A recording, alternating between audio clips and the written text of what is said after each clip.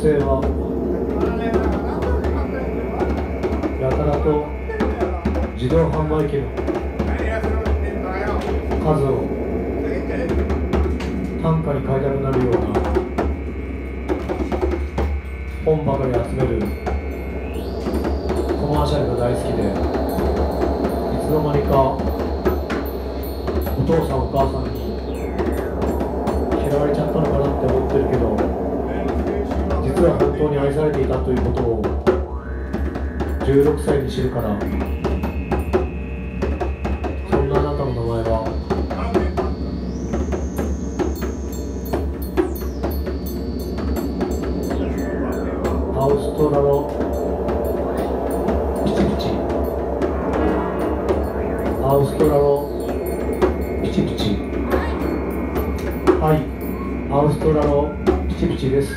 私いつの間にか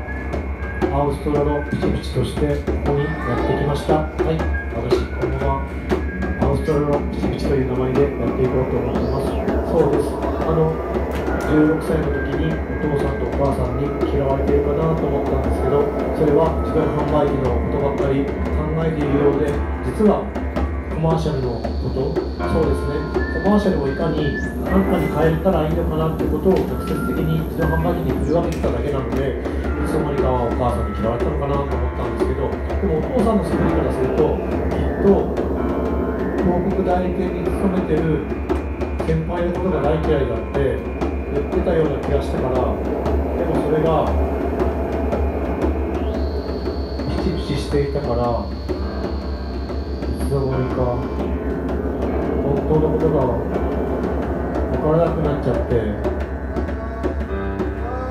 いい動きと悪い動きの境目もないぐらい全部好きも嫌いもないぐらい全部本当の歌ってしか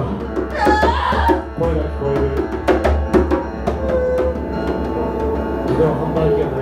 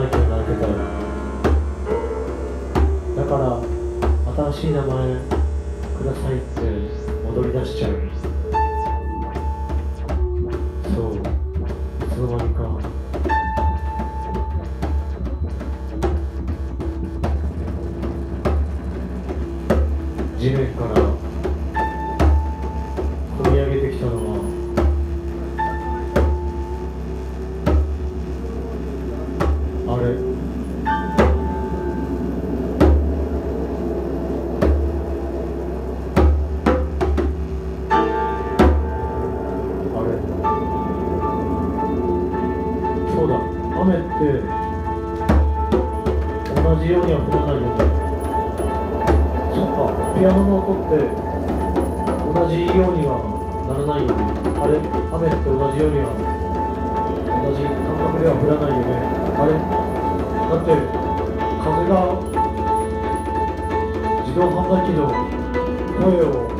真似てたからかな。それってもピチピチもしてないけど、水たまりの中には人残されてたから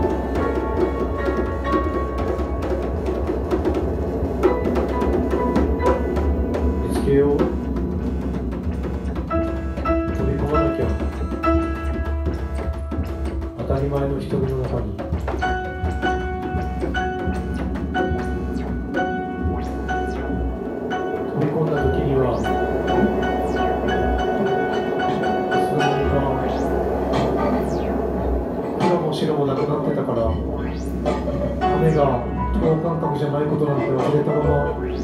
水たまりが固まってるみたいに綺麗だったから私ずっとピチピチしてられるかもしれないって。それ手紙に変えるから自動販売機泣かないと。もう自動販売機さん泣かないで。好きなの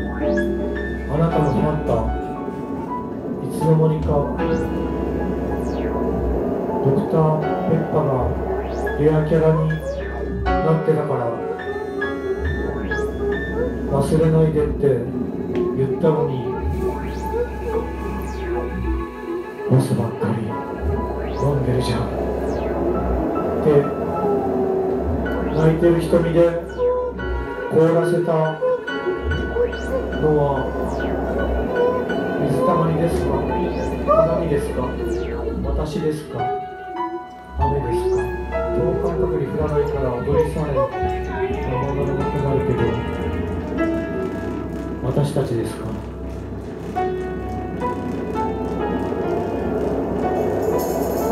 水たまりの生きている数だけで死んでいる泥はカウントされないなんて言わないで。泥だって沼だって水たまりだよって泣いてるから自動販売機。困ったのことばっか話してごめんね。本当はミネラルウォーターが好きなの私。あなたがいつも気を使って買ってくれるミネラルウォーターが好きだった。種類なんて関係なかったよ。一番安いものでよかったよ。ナノ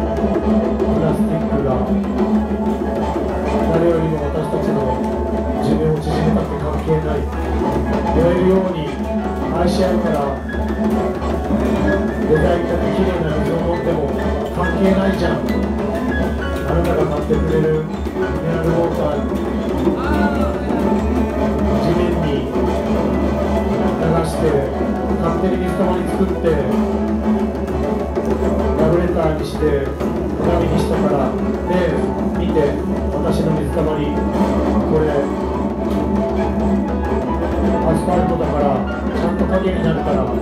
見て私の水たまり。なんて書いてある私の水たまり。読めるよね。自動販売機が泣く前に抱きしめて。自動販売機が泣く前に抱きしめて。